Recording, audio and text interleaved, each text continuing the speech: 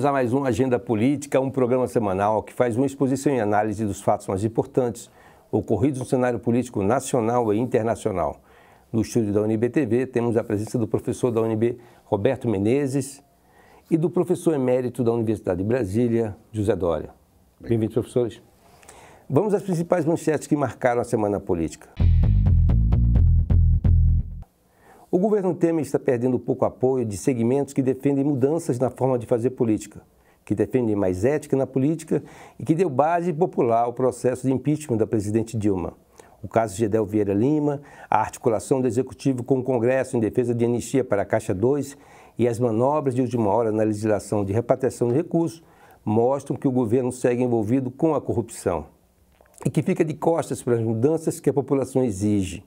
Em síntese, o governo pede sacrifício à população enquanto mantém privilégios e defende o indefensável. Na semana passada, a imprensa nacional repercutiu este sentimento de rejeição, que se traduziu na possibilidade de afastamento do presidente Temer. O jornal o Globo trouxe a manchete. PSOL entrará com pedido de impeachment de Temer. O partido argumenta que houve crime de responsabilidade. A propósito dessa situação, a imprensa já cobra uma postura mais ativa daqueles que foram às ruas em defesa de mudanças, tal como questiona a manchete do jornal O País vista parcial do governo Temer. Por que não mais ouvimos panelas batendo contra a corrupção? Professores, um governo fraco, embora com maioria no Congresso, que tipo de reformas consegue fazer? O governo Temer, né, em poucos meses já, já, já nasceu de um processo que foi classificado por alguns que eu concordo, um golpe né, jurídico legislativo, né, e que mostra que teve que fazer uma ampla coalizão e parece que pegou o que havia de pior em cada um desses que poderia que participar dessa coalizão, em termos de ministro, sobretudo, né? E o Gedel Vieira Lima, que foi o caso o pontapé para essa crise é, que nós estamos vivendo do ponto de vista da, da corrupção que expôs, lembrar que o Gedel Vieira Lima que era o braço direito do Michel Temer, e seguirá sendo o braço direito do Michel Temer, né, foi antecedido pelo Romero Jucá. Então, Romero Jucá foi nomeado ministro do Planejamento, mal conseguiu assumir, né, é, em maio, né, e, e, foi envolvido né, na Lava Jato e corrupção, com gravações através de um ex-diretor né, da Petrobras, Sérgio Machado, né? Ah, além disso, Gedel Vieira Lima, ele esteve, foi um dos deputados condenados né, naquela CPI né, que fraudava o orçamento público, né, orçamento da União, na chamada anões do orçamento. E então a ficha corrida desse senhor não é de hoje, né? É conhecida na Bahia e no Brasil. Então é uma figura conhecida né, da, das maracutaias no Brasil, né? Daqueles que apuram maracutaias no Brasil e estava à frente como um dos principais assessores do, do, do Michel Temer, né, do seu governo. E é justamente ao, com, é, juntamente desculpa, com o Moreira Franco, estão é, levando adiante um cabo, a cabo uma privatização e ao mesmo tempo tentando iludir a opinião pública que estão fazendo reformas estruturais que vão conduzir o Brasil novamente ao crescimento econômico, a uma política né, é, com, com, com rigor, né, com rigor da lei e sem maracutaias. Ao contrário, é, não me surpreende, nem Gedel Vieira Lima, nem o governo Temer e inclusive tudo, todo esse momento, come, todo esse episódio começa com a saída de um ministro, né, ministro da Cultura, lembrar esse ponto, é, gravando né, é, é, é, conversas com Eliseu Padilha, com o próprio presidente da República, com é, o, o Gedel Vieira que está no olho do furacão, né, que esteve no olho do furacão, é, a troco de quê? A troco da especulação imobiliária em Salvador, então, até esse momento, né, como mostrou a Folha de São Paulo, não se trata de um simples comprador de uma unidade, de um apartamento, né, que, como estão dizendo na Bahia, é tão alto o prédio que ia dar para ver a África né, do outro lado. Então, a vista dele é uma vista deslumbrante. Então, ele é um dos donos, provavelmente, do, do, do empreendimento, porque o seu sobrinho e um primo né, dele são os representantes né, que estão juntos ao IFAM do, do empreendimento, tentando a liberação, que estavam tentando a liberação. Imagina como, ou, esse é um dos casos que conhecemos, imagina é, os outros casos. É, é bom que se diga também que esse movimento que está tirando o apoio do Temer, ele, ele ajudou fortemente, deu respaldo popular à saída da, do governo anterior também envolvido com corrupções. E eu faço uma pergunta, uh, Dória. Você acha que com essa lista da Odebrecht, algum governo que tenha como ministros políticos vai ficar imune a essa possibilidade de ser taxado de corrupto? Eu tenho a impressão que o, o, o perdeu um pouquinho uh, da apreciação histórica. Né? A gente fala governos e governantes, às vezes, para identificar um ou outro, mas são diferentes. Né? Então, a gente teve mudança de governos e governantes. A partir, quando os militares saíram, a gente teve mudança de governo e de governantes. Ah, não deu certo, hiperinflação, etc. Veio o Collor, né? a gente teve uma mudança de governo e de governantes.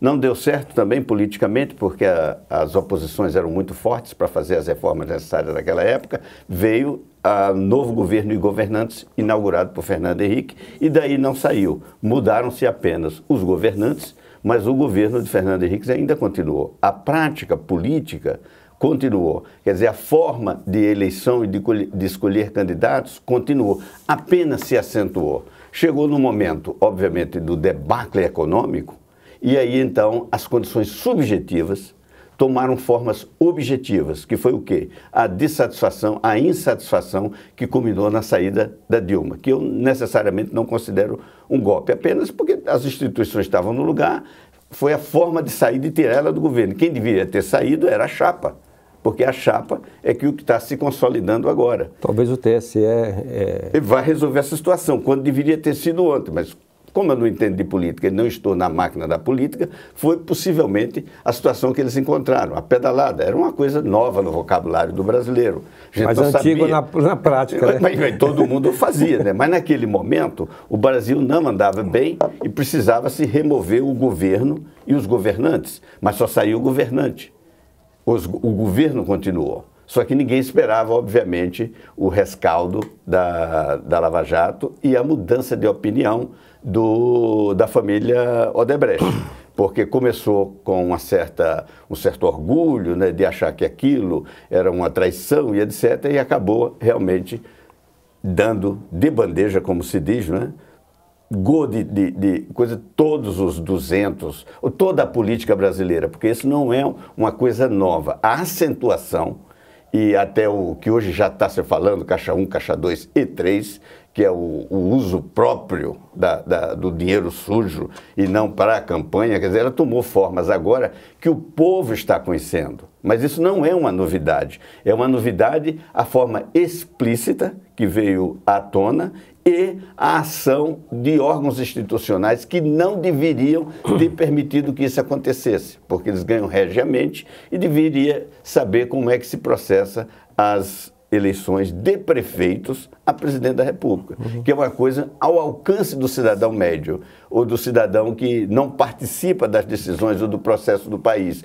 Mas se você perguntar qualquer um que entende de política, que vai a um interior, né, é, é muito raro você ter um processo daqueles que a gente gostaria que fosse, o da Suíça acontecendo aqui no hum. Brasil mas, hoje. Mas qual é a saída para esse imbróglio? Qual é a saída para essa crise assim, é, de legitimidade, de representatividade? Do problema político, é difícil a gente alcançar no sistema aberto.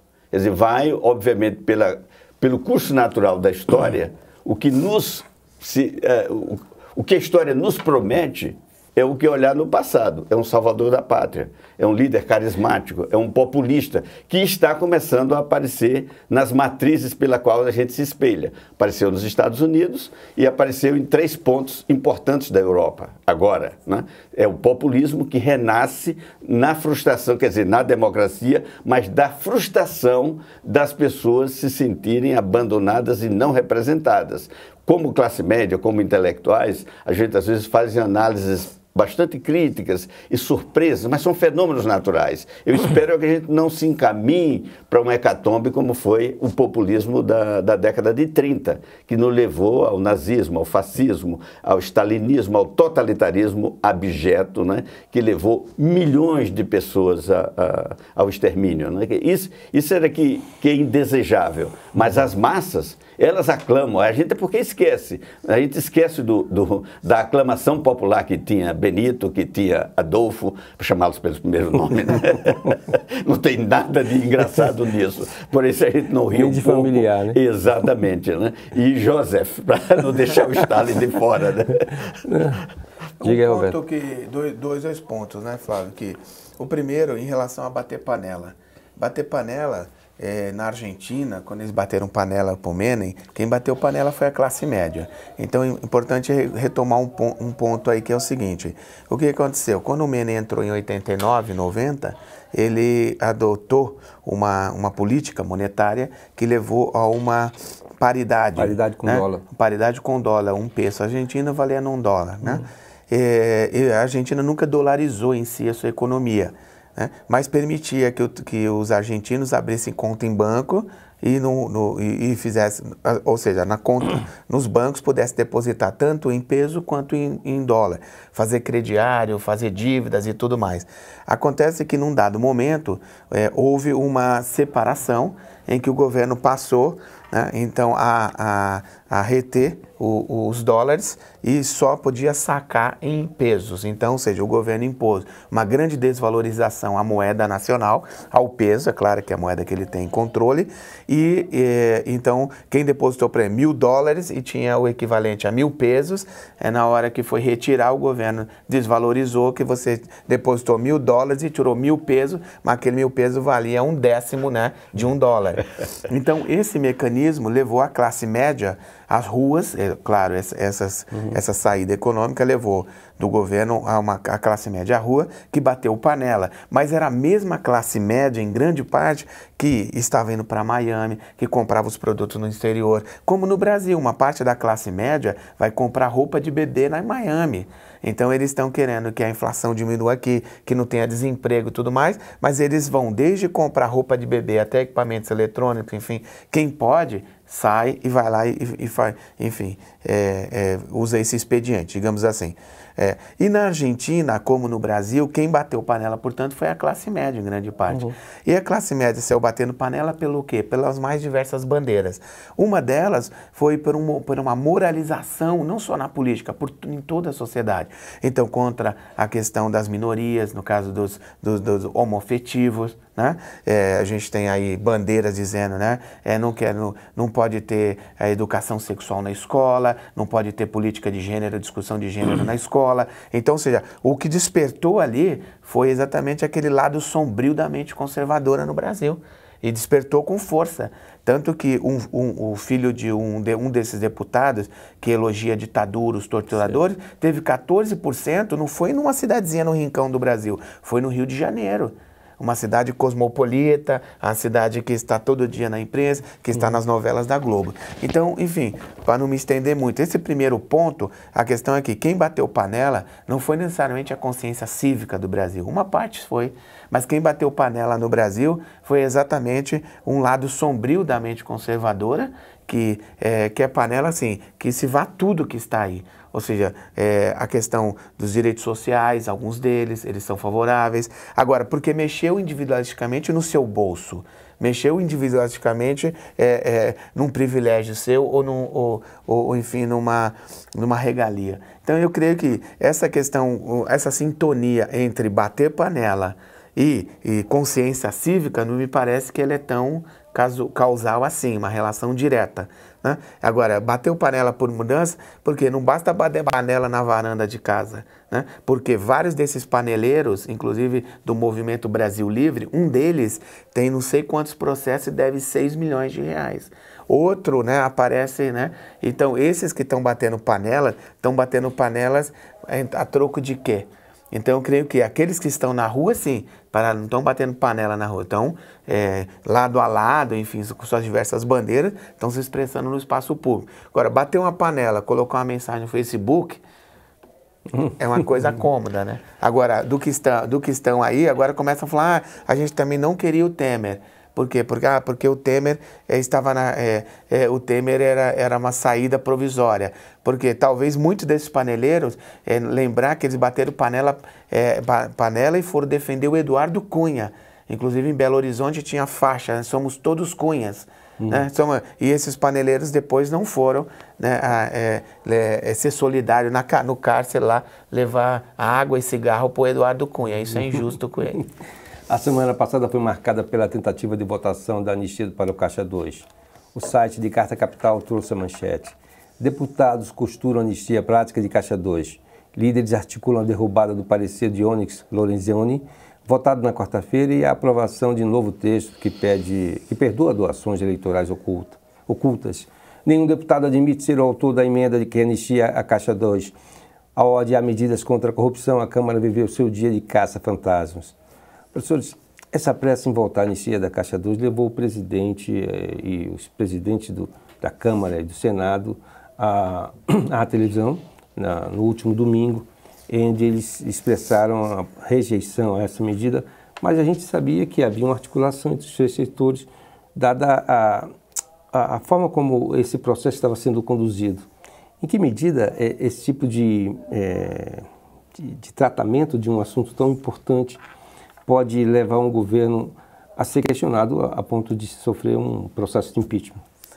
É, Primeiro, o termo anistia, eu acho impreciso que a imprensa tenha utilizado, porque a gente vê anistia como perdão de lado a lado, né? Então, no Brasil, em 79, teve a lei da anistia. Uhum. É, depois tem, por exemplo, a prefeituras como São Paulo, Brasília, aqui. Brasília mesmo é, tem anistia ao puxadinho. Então, ou seja, o comerciante invade a área pública, incorpora a área pública, então é chamado de anistia, ou seja, em troca de um pagamento a mais de PTU por incorporar aquela metragem, dá-se uma anistia. É, os bombeiros, quando se rebelaram no Rio de Janeiro contra os baixos salários, foram presos, aí o Congresso tem uma anistia, ou seja, a anistia está associada a algo que é, digamos, tem alguma razoabilidade, ou seja, que ainda traga alguma perda para o poder público, mas pode trazer, digamos, uma pacificação social. Uhum. Agora, nesse caso, é pura e simplesmente corrupção e impunidade.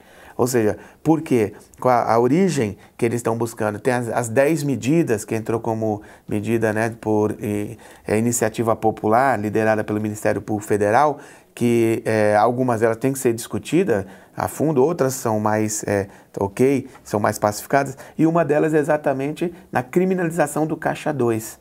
E essa criminalização do Caixa 2 é que levou à reação do Renan Calheiros, né? por exemplo, a propor a mudança na lei de 1965 de abuso de autoridade, e essa que eles estão chamando agora né, é, é, um novo projeto de rever abuso de responsabilidade responsabilizar os magistrados né, e uhum. o Ministério Público. Então vejo que é, no Brasil nós temos diversos movimentos, várias, várias e várias vezes é, é, protagonizados pelo legislativo, pelo Congresso, a Câmara e o Senado juntos, que foi na calada da noite aprovar projetos contra né, é, é, a população e em benefício pura e simplesmente deles.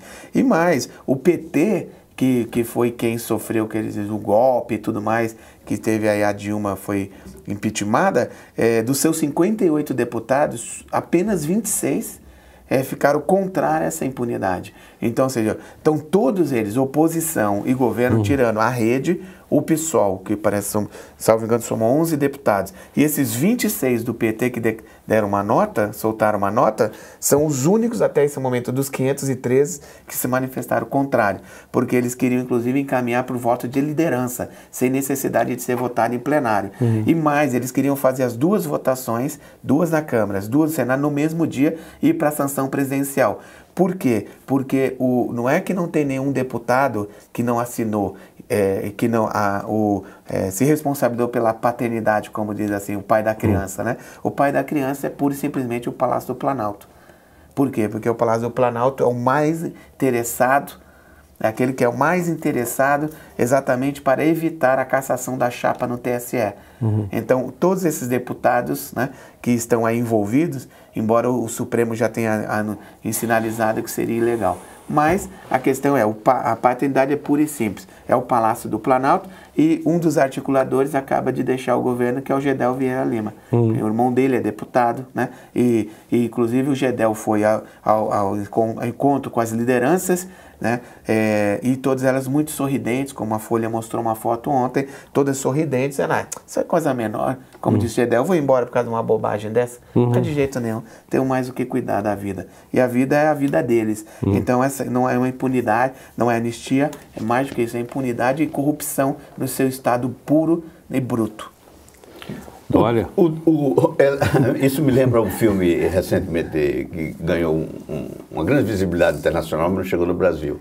É O Fim do Mundo e um trem carregado com, com as pessoas que seria o Brasil, né, a toda velocidade para um precipício e as pessoas brigando para saber quem tem a melhor vista do, do precipício. Né? Então, me parece que o Congresso Nacional é isso, né? Uhum. Quer dizer, a população brasileira passando um momento terrível de desemprego, quer dizer, milhões de pessoas chegando à idade dos 18 anos hoje, porque são, são milhares de pessoas que chegam por ano, né, por dia, milhares por dia e milhões por ano, sem nenhuma perspectiva de emprego. A, a economia trancada, as possibilidades de, do indivíduo resgatar o outro indivíduo também fechada pelas leis anacrônicas de relações trabalhistas e tanta coisa que pode beneficiar o povo diretamente por nós, o nosso projeto nacional, Fora não é sequer não é sequer pensado nem pelo jornalismo da grande mídia, que poderia instigá-lo, nem pelos paneleiros ou panelaços que podiam fazer demandas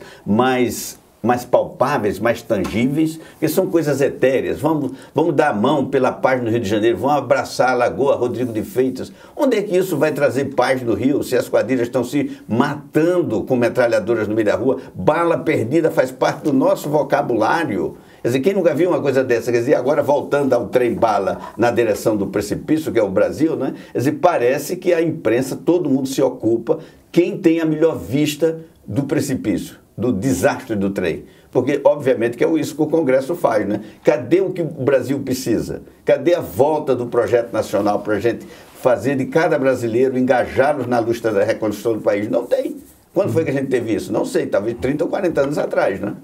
Na semana passada, o encaminhamento de acordo entre os governos estaduais do DF com o governo federal, de modo a socorrer o caixa dessas unidades da federação, revelou uma matriz comum, conforme revela a manchete do jornal Estado de São Paulo. Estado, estados propõem limitar por 10 anos o crescimento dos gastos públicos. O projeto é igual à PEC do teto da União, apenas com um prazo menor. Em reunião em Brasília, secretários de Fazenda também propuseram elevar de forma permanente a alíquota de contribuição previdenciária para 14%. A propósito desse assunto, volta à discussão no Congresso o tema do Pacto Federativo. Aparentemente, é consenso na Casa que, sem novo Pacto Federativo, estados e municípios ficam impossibilitados de cumprir suas obrigações. Atualmente, a União arrecada é, 69% da receita fiscal, ficando apenas 31% restante para os demais entes federativos. Qual a importância do Pacto Federativo? E esse, esse acordo que está encaminhado, é, que segue a lógica da PEC 55, em que medida ele traduz é, o consenso de que não há outra saída senão atacar os gastos, a questão fiscal? O, os estados, o Pacto Federativo, ele foi muito discutido a partir de 95, sobretudo no Brasil. Então, portanto, sete anos após a, a, a, Constituição de 88, quando assumiu um conjunto de governadores, como São Paulo, Mário Covas, em Minas Gerais, o, o ex-presidente Itamar Franco, enfim, Rio de Janeiro, é, enfim, todos esses governantes, eles começaram a questionar a centralização né, no governo federal como se de 69%. E voltou um debate dizendo, não, mas as pessoas vivem nos municípios, é lá quem deve estar Isso. e tudo mais. Então, ali começou um debate sobre a repactuar, né? É, como repactuar esse, esse, esse, essa relação entre a federação e os estados. Então, o Rio Grande do Sul é, também jogou um peso importante nisso e hoje está na lona. Né? É, o Rio de Janeiro já está na lona há um uhum. tempo, por outras razões, que não apenas a centralização dos impostos. Brasília né? já avisou que não pode pagar o salário de, de novembro, apenas, pode pagar apenas por 85% do, do dos seu... seus servidores. Isso. Então, ele nesse momento, é, é, importante lembrar também que nos anos 90 os estados lançaram a chamada guerra fiscal. E ali eles comprometeram a receita por 20 anos, nós estamos vendo agora, também como resultado, por 20 anos, é, isenções mirabolantes para atrair, sobretudo, setores como a indústria automobilística. Isso fez a Bahia, isso fez o Rio Grande do Sul, uhum. isso fez o Rio de Janeiro, fez São Paulo. Né? E, e um segundo ponto importante é que as isenções fiscais então, só o Rio de Janeiro, o volume que ele deu em isenções fiscais para setores que sequer têm a ver até com geração de tecnologia, de empregos ou manutenção, uhum. digamos, de setores dinâmicos da economia. Mas que bancam as, as campanhas. Que bancam as campanhas. Então, é, é, é preciso, é, ao invés de colocar dinheiro nesses estados, antes de mais nada, fazer uma boa auditoria responsabilizar, buscar o dinheiro de quem saqueou, como está aí o governador, o ex-governador Cabral preso, e tem muito mais peixe grande lá para ser pego também, uhum. né, tem até um que está à frente do governo ainda no Rio de Janeiro. Uhum. Então, não deixá-los escapar, deixá-los rapar o pote deles também e trazer o dinheiro de volta. E, as, e outro ponto importante é que, na lógica da PEC, que eles estão dizendo, ah, então agora nós vamos ser responsáveis, eles querem os mesmos que estão no poder, como em São Paulo há 20 anos, o PSDB, uhum. é, os me, as mesmas coalizões que governam o Estado há 10, 15, 20 anos, eles estão dizendo que agora eles vão fazer os arauto da responsabilidade. Isso não me engana, não, uhum. claro que não engana a população como um todo. Então, ou seja, o que, que eles querem fazer? Querem mais dinheiro, como aqui no DF, em que aumentou, aumentaram 20% o gasto da Câmara Legislativa. 24 deputados distritais que custam 158 mil reais por mês e nunca disseram a que vieram. A que vieram. Ou seja, então nesse ponto, a questão é, é preciso é, não fazer que o servidor público pague a conta, porque eles estão querendo aumentar de 11% para 14% a contribuição e, daqui, e vão trabalhar pelo fim da estabilidade pública. Então, mais à frente, eles dão de novo um calote na Previdência Pública e aí diz agora todo mundo vai receber um salário mínimo, ponto final uhum. né, de aposentadoria. Então, é, é, preciso, esse tema vincula fortemente o primeiro tema que nós discutimos, foi a corrupção, a questão da mudança com a representação e acabar com essa vida de popstar que esses políticos têm, né? Uhum. Olha. O, o, o panorama uh, econômico internacional, usando a linguagem mais pedestre que tem, está é, tudo dominado, né? Porque os países centrais dominam as economias uh, dos países periféricos, do, do quais nós somos uma importante economia, mas somos ideologicamente e, e, e, do ponto de vista da participação muito periférico, né? e tudo se assemelha a que a gente faz essas contenções ou esses PECs, eh, qualquer dessas medidas econômicas, para uma única e exclusiva coisa, estabilizar a economia para pagar os juros, juros da dívida. E esses juros da dívida vêm sempre em cima de quê? Para pagar a folha de pagamento do, do Estado, né, do qual nós somos aqui, nós três, beneficiários também. Né? Então, quando você pede um sacrifício de 20 anos, numa organização capitalista que é patrimonialista, não é capitalista, você está jogando a conta em quem não tem patrimônio, quem vai pagar isso pelos 20 anos e depois. Se isso aqui incidisse sobre os filhos dessas pessoas que vão pagar essa conta, eles não faziam essas propostas porque eles iam empobrecer. Quer dizer, é você tornar o Estado eficiente, pagar menos. Nós não temos já na Constituição que diz que ninguém pode ganhar mais do que um determinado teto? Porque tanta gente está no teto e não é criminalizado? Essa é uma pergunta que a pessoa na rua faz todos os dias. Né? Quer dizer, então a gente fala de caixa 2, caixa 3, político corrupto, e, a, digamos assim, o privilégio oficializado que é ilegal, porque me parece que o que é contra a lei é ilegal. Eu estou usando a semântica do jeito que me ensinaram, bem na gramática, né? Não está dentro da lei, está ilegal. Né? Uhum. Mas isso aqui se pratica, e são milhares de pessoas. Né? Porque esses gastos perdulários, como o, o, o, professor Roberto já pôs, né? na Câmara, não é na Câmara do Distrito Federal, é na Câmara de Vereador da cidade mais infame que tiver do seu IHD, onde você não tem escola, mas tem um vereador engravatado ganhando por uma sessão que ele não sabe nem sequer fazer a ata. Por quê? Não é culpa dele, é que ele não teve a educação básica para poder fazer a ata daquela reunião. E ele ganha em alguns lugares, não vou dizer que é o país todo, mas ganha igual a um professor início de carreira numa Universidade Pública Federal. Né? Quer dizer, isso é um absurdo. Nós temos 90% ah, aqui no Distrito Federal, não sei se, se é em outros lugares, né, das matrículas de curso superior dentro da iniciativa privada. Quer dizer, que absurdo é esse, né? Que as pessoas recebem diplomas e a gente não questiona. Quer dizer, são tantos os gastos, os ralos, os desperdícios, a corrupção, a, a, a dissolução social que a gente está vendo no país, que é impossível a gente falar só de um setor, com todo mundo comprometido, né? Mas voltando ao seu assunto, que é o econômico, né? Quer dizer, essas medidas econômicas estão prejudicando o filho daqueles que vão pagar a conta, não dos nossos. Como a sociedade patrimonialista, qualquer pessoa na classe média, nesses 10% de cima, pode ter o seu patrimônio ainda protegido por essas medidas, se bem que os seus salários não, mas o patrimônio sim. Se isso desse a garantia de que amanhã a gente tem um emprego para cada um desses, desses 20 anos que eles estão congelando, tivesse um milhão de empregos sendo criados esse ano, Era uma maravilha. Quem uhum. não adere a um negócio desse? Só que você sabe que você paralisa isso e apenas paga contas de gastos perdulários. Para quem? Para os bancos. E onde estão os bancos? As sedes deles já não estão mais no Brasil. Todo dia você vê no jornal banco X e Y sendo vendido a banco JM, quer dizer, que é de outro lugar, não é mais daqui. Eu não vou falar o nome do banco, uhum. todo mundo sabe quais são os bancos. Né? E o Banco do Brasil fazendo o quê?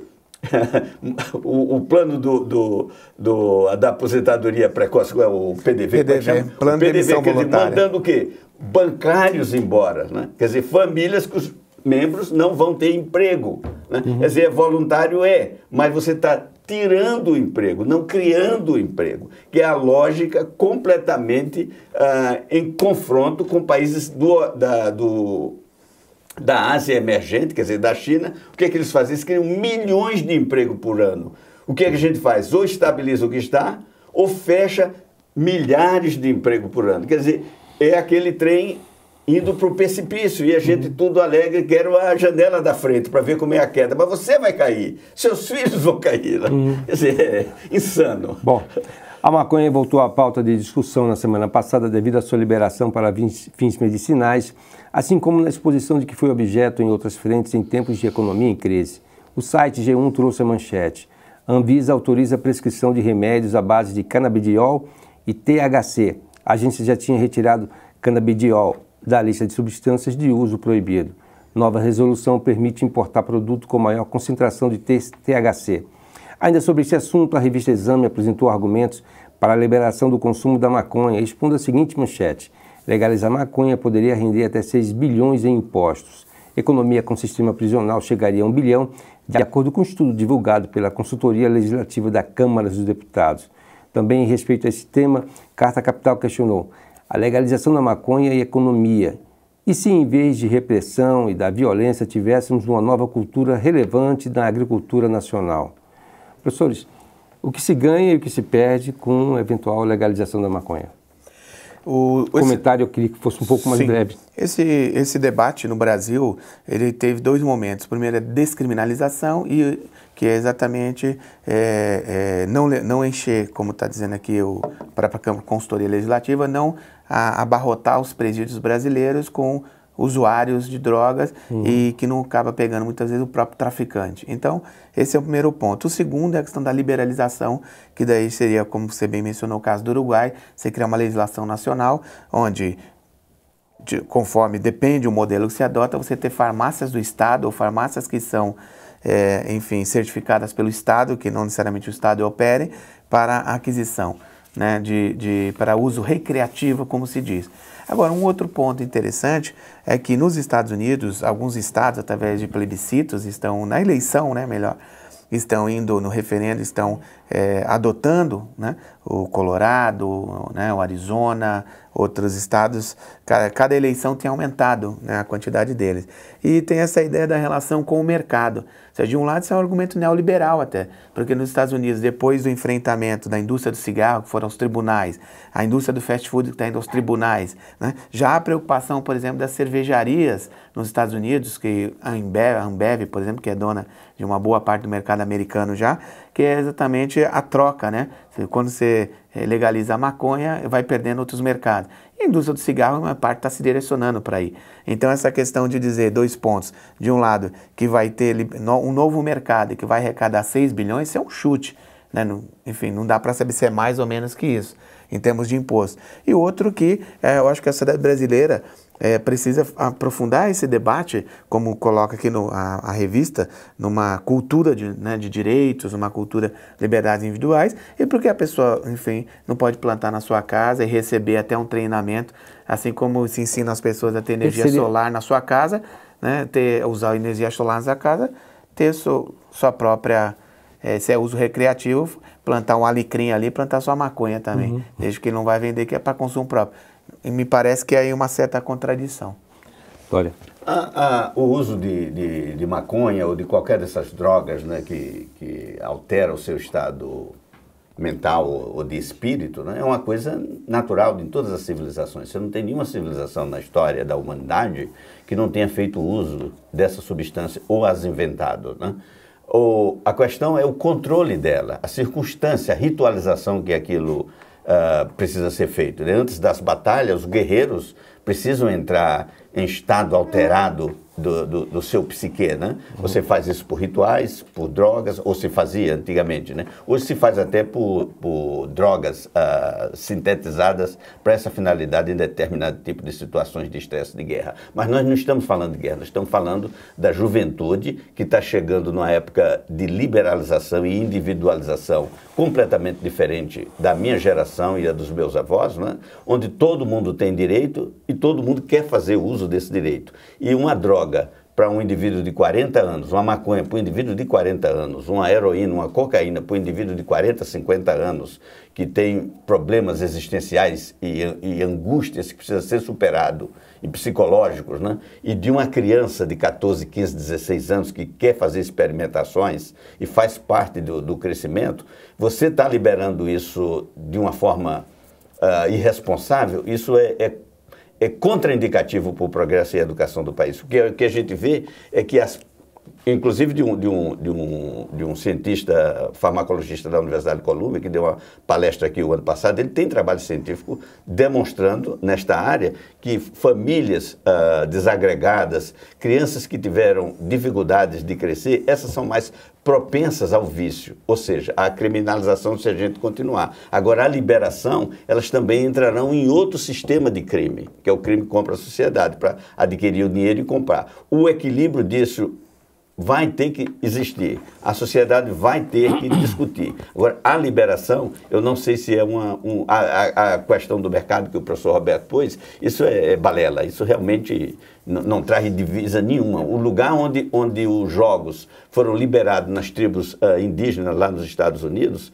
são as que têm menor condição de recuperação social onde tem mais vício, tem mais prostituição, tem mais alcoolismo entre eles, tem tudo. Então, o, o, efeito colateral disso é muito danoso para a juventude. E é a juventude que a gente tem que focar. Né? Quer dizer, a criminalização, o que vai acontecer, eu não sei. Agora, ratos, se você estressar um rato e der uma água com com um desses eh, produtos químicos, cocaína, heroína, uma dessas coisas, né, ele prefere uma água pura se ele for um rato uh, menos estressado do que outro. Então uhum. tem uma base biológica na procura do, do, da alteração do estado psíquico através das drogas. Né? Uhum. E daí para você resvalar para a prostituição, para a violência, para o crime, é muito fácil. Então, numa sociedade desorganizada, uh, como a nossa, né? quer dizer, uma sociedade de privilégios, onde só quem enfrenta a justiça é quem não tem dinheiro, quem não tinha, agora a gente está vendo os governadores serem presos, até tem que botar uma vírgula é. nisso, né? Será que mudou? Eu ainda acho que não, ainda quero ver mais uns dois uhum. anos para frente, né?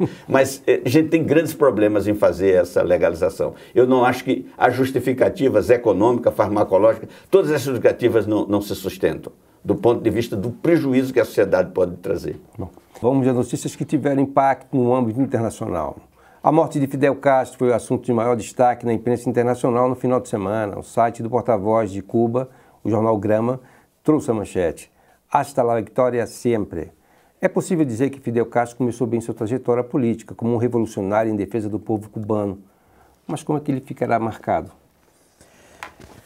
O Fidel Castro tem o famoso, né, é, a sua famosa defesa, assim, em 1953, quando ele foi preso a primeira vez por tentar derrubar aquele foi um dos maiores tiranos, déspotas né, da uhum. história latino-americana, que foi o Fulgêncio Batista, Sim. e que, o, os, e que tinha forte apoio dos Estados Unidos. Né?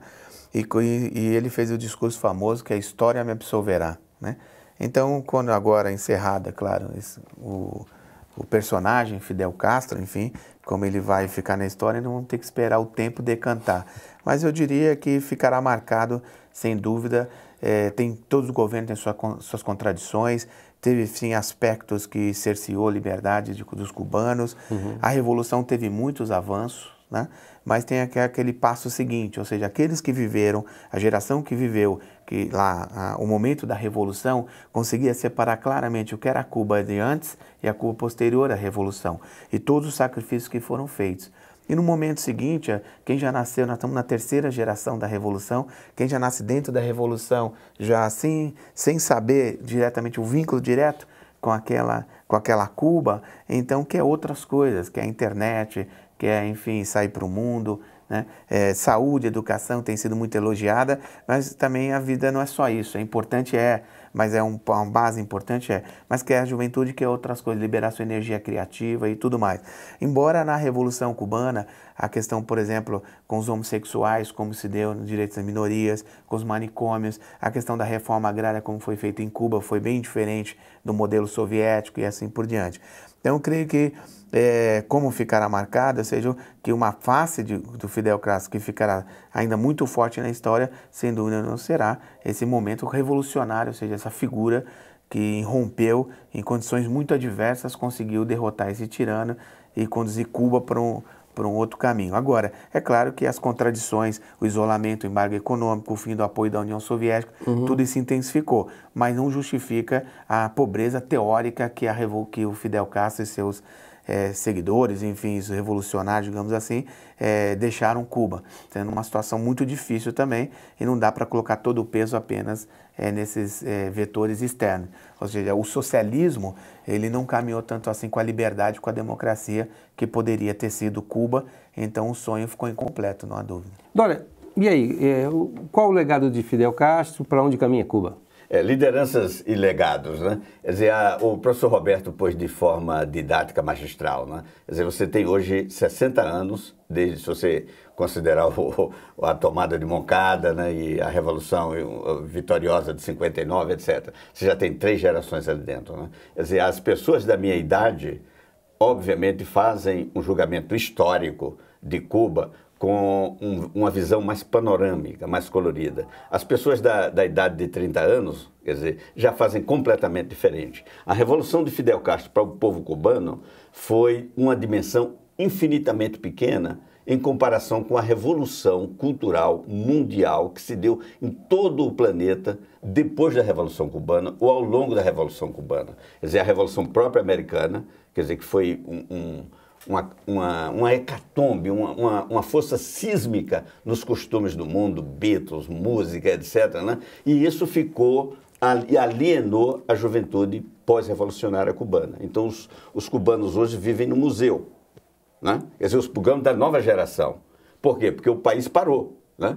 Ah, um, um dos grandes problemas da Nicarágua de imigração são cubanos que fazem outra rota para alcançar os Estados Unidos. Não a rota do mar, que é muito perigosa, já está vigiada e não cola mais. A última foi com a história do Carter, né? que foi um debacle para ambas as partes. Né?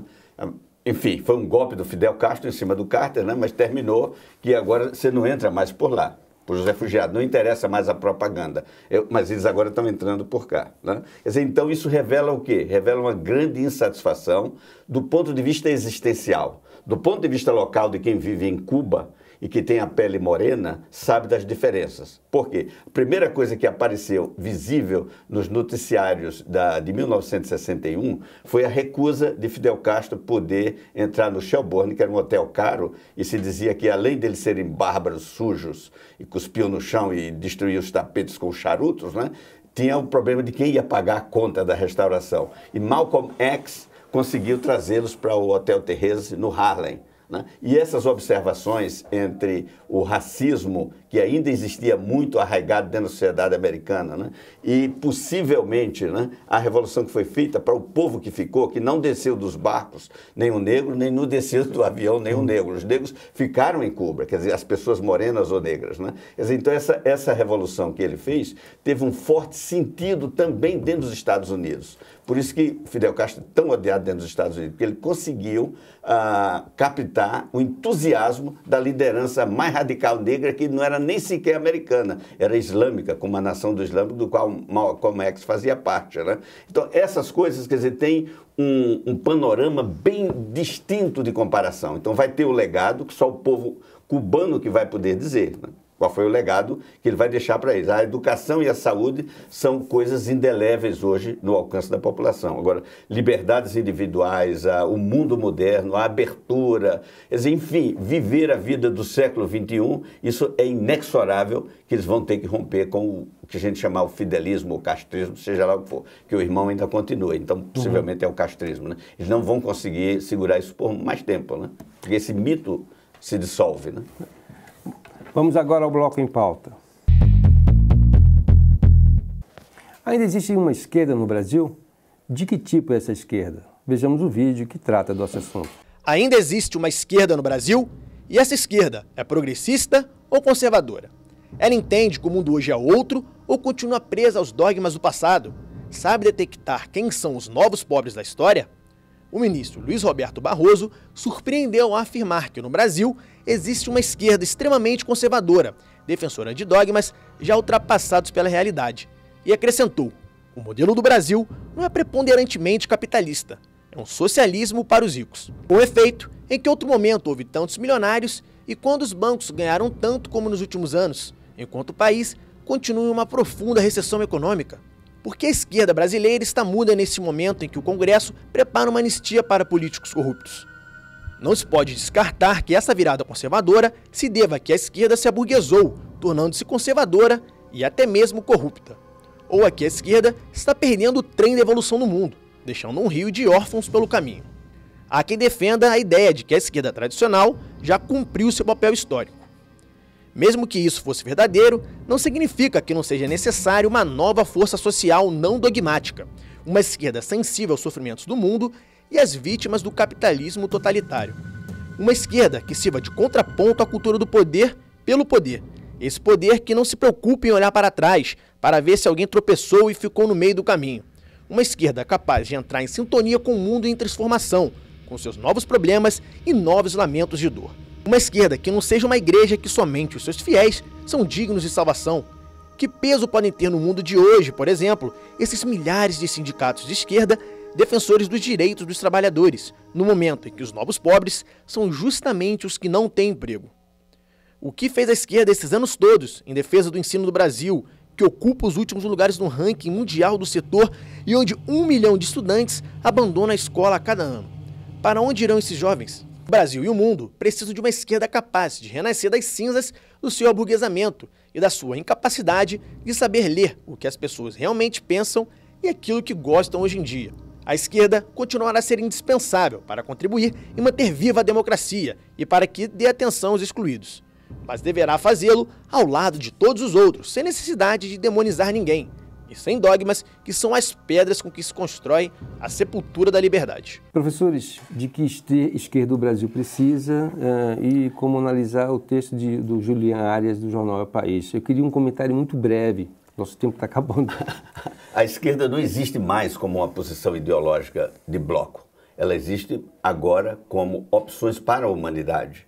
Isso não está resgatado num único discurso. Nem o, o Zezek consegue sintetizar isso. Quem mais chega perto disso é o Noam Chomsky, quando ele põe novamente o homem na frente das decisões uh, do planeta, né, que é nossa responsabilidade preservar o planeta. Então, a esquerda moderna está mais para a preservação da vida, do planeta como a gente conhece, do que necessariamente para as ideias do século XIX, que forjou a, a classe operária como líder da revolução redentora da humanidade. Isso não existe mais. Quer dizer, o consumismo tomou conta, não existe mais operários, o que diz é servidores diretos e indiretos, terceirização. Então, enquanto as esquerdas latino-americanas né, não souberem ler, porque já está praticamente uh, nos tratados, na, nas opiniões né, dessa necessidade, a gente vai perder novamente a liderança, as nossas intelectuais, e vamos ser caudatários da nova esquerda que surge na Europa e nos Estados Unidos, que não é mais a esquerda marxista, mas é a esquerda, digamos assim, humanista, trazendo o homem e o planeta para frente disso. Seria uma espécie de uma, de uma de uma normalização na esquerda dentro do movimento, o mais que chega perto disso é o movimento verde internacional. Né? É o que mais chega perto de consolidar um bloco de ideias de esquerda. O resto se perde nessa retórica de defender privilégios de sindicatos, de servidores. Aqui no Brasil é, é a mais abjeta possível, porque a gente olha isso e vê a coisa mais ordinariamente reacionária é as posições dos nossos esquerdistas completamente contrário ao curso da história. Roberto? A esquerda é, pode estar derrotada temporariamente do ponto de vista eleitoral, sobretudo a esquerda do PT, mas manda avisar que está bem, né? Ou seja, está nessa contradição, como Segundo o Dória, está bem mal. É, porque em 89, quando teve o leste europeu, toda aquela questão, por exemplo, o PT, quando surgiu em 80, o PT sempre criticou o leste europeu.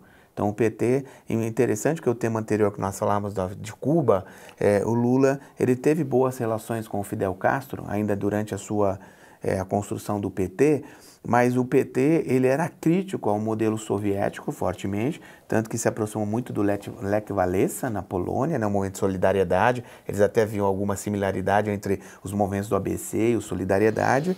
Então, a, a matriz, por exemplo, da esquerda do PT não é a, essa matriz, nem castrista, nem essa matriz do modelo soviético, pensando a partir do Brasil, que é o nosso ponto. A partir daí, nós tivemos, quando nós tivemos em 89, interessante que no Brasil tinha a eleição do Lula para presidente, do Collor, e o, ele foi ao segundo turno, era o momento em que estava mais intenso, né? A queda do muro de Berlim, toda a transformação, e a imprensa brasileira, a Rede Globo, uma parte dela foi a Cuba, já se hospedou e montou equipamento, falou, agora vai cair aqui o, o regime, nós vamos ser o primeiro a filmar. Uhum. E o que isso ocorreu de fato. E depois, então, no começo dos anos 90, veio esse longo debate que teve, muito intenso, acerca de qual o futuro da esquerda.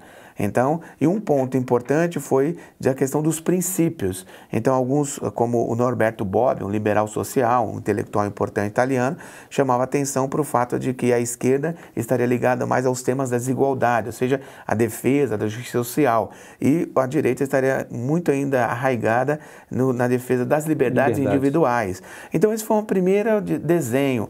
Mas depois nós fomos, ao longo dos anos 90, também nós tivemos a reconversão de alguns desses partidos eh, de, na Itália, no caso da Itália, do Partido Socialista Italiano, né, mais para a social-democracia, no caso da Inglaterra. Né, você imaginar que o Partido Trabalhista, esse foi o Tony Blair faz parte, após a Segunda Guerra Mundial, inscreveu no seu, no seu estatuto a ditadura do proletariado. Estava lá escrito no Partido Trabalhista.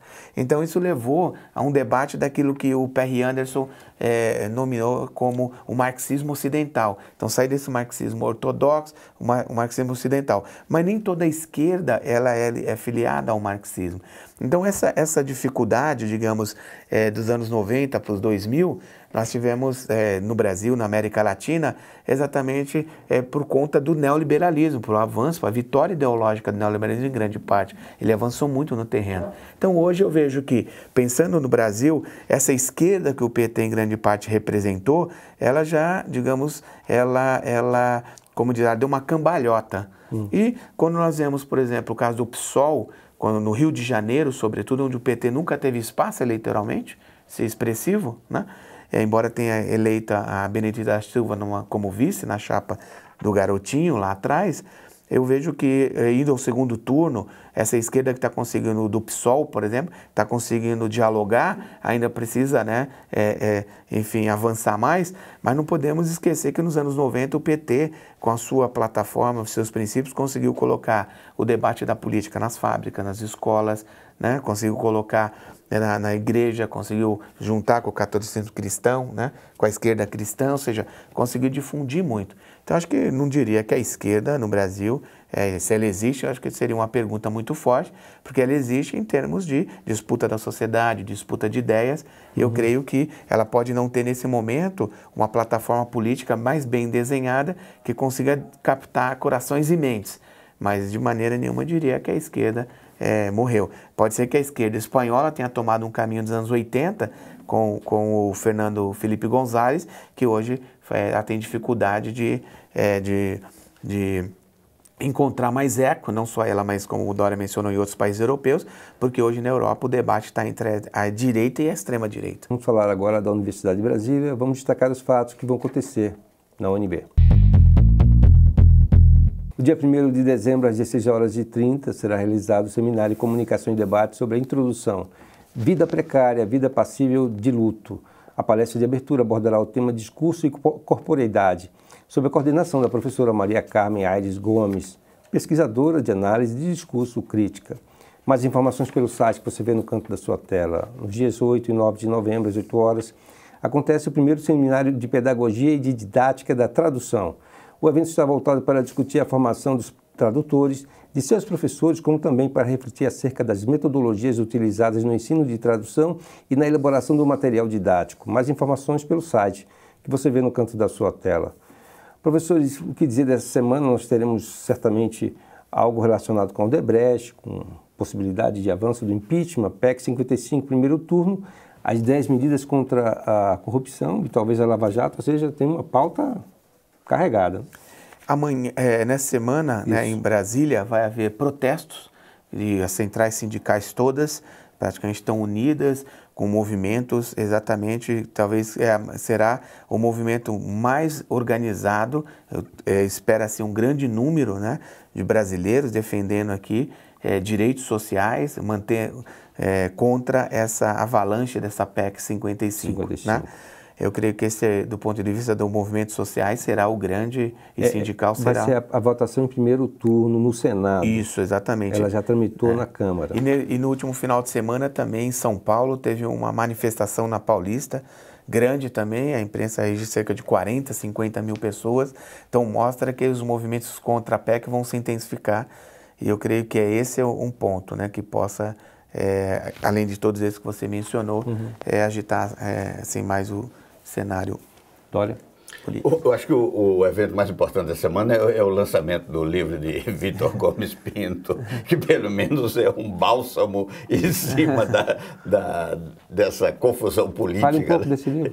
É, é, é, a história, é uma história do Brasil contada com bastante humor e um rigor histórico muito interessante. O autor, o Victor Gomes Pinto, já é um experimentado escritor, né, conhecido de muita gente, e ele traz a história do Brasil político desde os tempos do Império até atual, né, onde a gente pode reconhecer as figuras que operam por detrás dos bastidores e como a real política do Brasil acontece. Né? O, o nome do presidente é Dom Pedro, é bastante humorado e bem pesquisado. Quem se der se divertir com uma boa literatura vai ser agraciado com esse presente. Como é o nome do livro mesmo? O nome do presidente é Dom Pedro. O nome do presidente. em outras palavras, nada muda, nada né? Muda. mais, é, mais informações você pode... No canto da, da nossa no, tela. No blog é, tem aí no canto é, da nossa tela.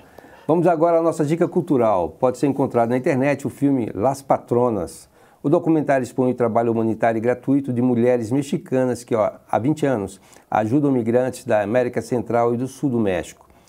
Eles passam em comboio conhecido como La Bestia em direção aos Estados Unidos. Lo que era, lo que era lo que era dentro del juego el, el trabajo, estudio, ir a la escuela, el conocer a amigos, el hacer amistades, porque siempre me ha gustado ser una persona abierta. En aquel tiempo mi papá pues siempre ha sido campesino y pues apuradamente lo que trabajaba él apenas alcanzaba para comprar la, este, las cosas, la comida. Fueron valores los que nos sembraron, sembró cosas buenas en nosotros como por ejemplo apreciar, valorar a las personas y sobre todo aprender a quererlos, ¿no? Es que querer a la gente no cuesta. Pues yo jalaba a las mujeres, digo, vamos a limpiar la milpa. Pues si no les gustaba, tenía que hacerlo. Yo las jalaba. ¿No qué? Pues había que trabajar para tener centramitos. Si no, ¿cómo? O filme foi produzido pela HBO. Para vê-lo, basta acessar o YouTube e digitar Las Patronas. O Agenda Política está terminando. Gostaria de agradecer a presença do professor da UNB, Roberto Menezes, e do professor emérito da Universidade de Brasília, José Dória. Obrigado, professores. Gostaria de agradecer a você que a cada semana nos acompanha na UNB Para participar do programa, você sabe, basta mandar uma mensagem para agendapolitica.unib.br. Na semana que vem vamos ter novos assuntos, porque política a gente faz todo dia.